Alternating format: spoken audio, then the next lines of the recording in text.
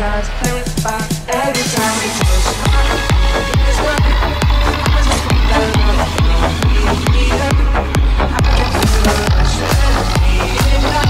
Every time we touch, every time we touch,